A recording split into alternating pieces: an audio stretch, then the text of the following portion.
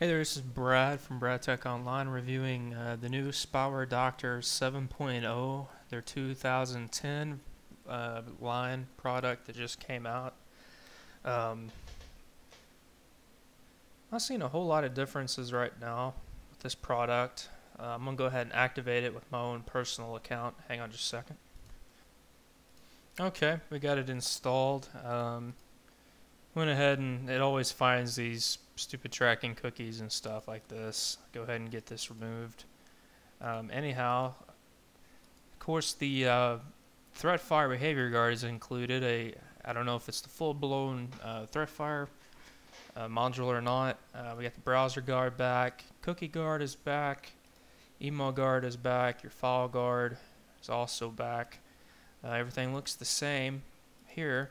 Then you get down to the settings and you notice that there's an, a game mode that they've added. Um, enable power savings mode detection.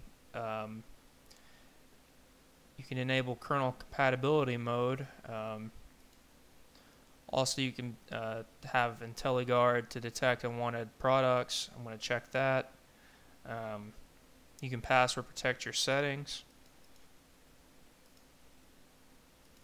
Also down here is secure community settings. I already set this up to automatically submit uh, stuff uh, to them that they deem that might be actually a, a file that's infected. Um, anyhow, I'm going to run it through some zero days. Also, it didn't require me to restart my machine after installing.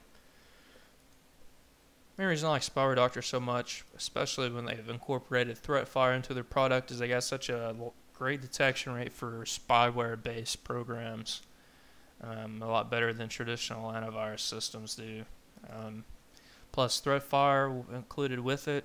is kind of like the icing on the cake when it comes to uh, zero-day attacks and known attacks that are out there already. See how this Trava.exe, um, it's kind of the same collection that I've tested against Prevx and Bullguard tonight.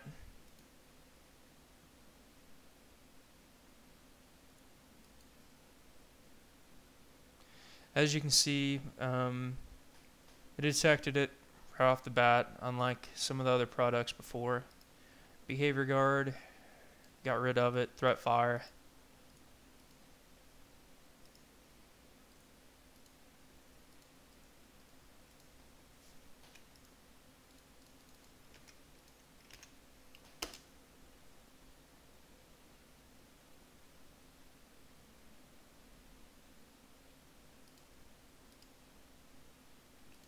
right there. It uh, blocked it. Blocked that uh, backdoor trojan from installing so we're two for two. A lot better than bull bullguard so far um,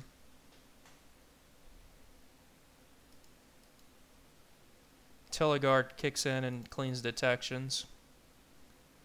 Going to block this also.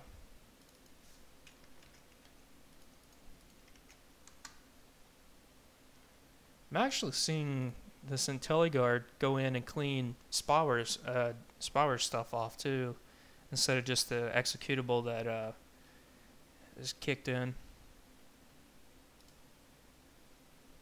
Looks like their site guard. This hasn't been added to it yet. Um,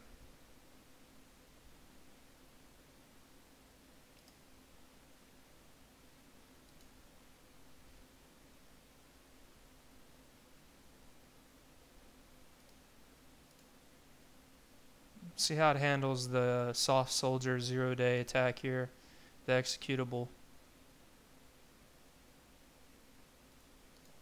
That's a, that's trying to run and install itself.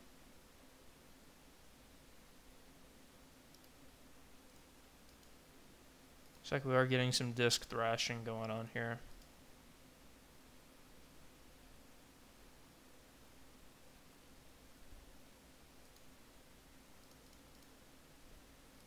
Setup is running in the background right here. Um, thing about it is, is it's actually not doing what it's trying to do, which is pop up a little dialog box right here and go out and pull it down. Oh, there we go.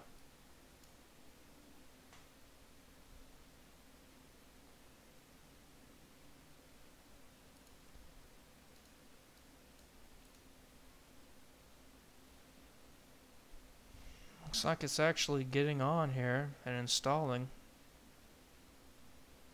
Here we got something right here. Uh, it said it blocked it. Application maybe underscore rogue AV. I'm going to tell it to block.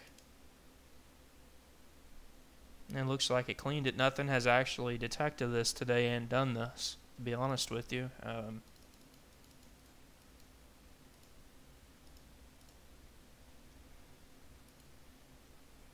man, when Spyware Doctor is incorporated Threatfire in there, I don't know. There's not going to be a whole lot out there that's going to really. Uh, well, they already have. There's. I just don't see a whole lot being a better twenty nine ninety five or thirty nine ninety five dollar package.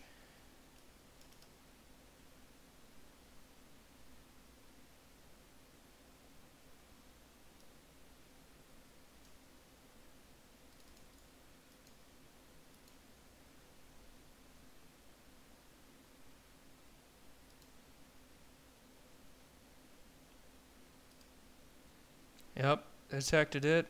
Quarantined.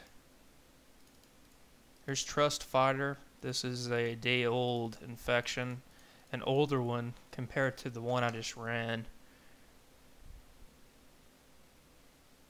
Looks like they actually, Spyware Doctor has, PC Tools has added this to their site guard as a bad site, as you can see, which is great because that's one layer of defense before you can even do anything.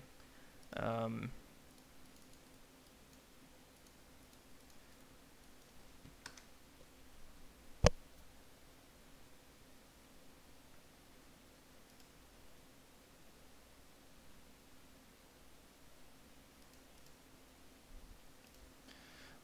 Not even surprised, I went ahead and blocked it. I'm going ahead and pausing the video, starting a part 2 up.